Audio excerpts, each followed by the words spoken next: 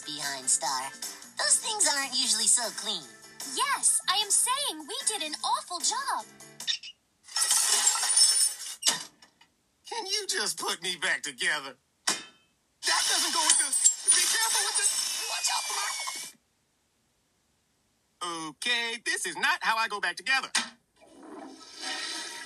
I don't know. I'm pretty sure that's how I remember you. Yep. Agreed. Then what about all those extra parts? Yes, extra parts, Cyborg, as in you do not need them? That's my leg you're sitting on. Sorry, Cyborg, but we've done everything we can. You can't leave me like this. It's undignified. I feel like Webster.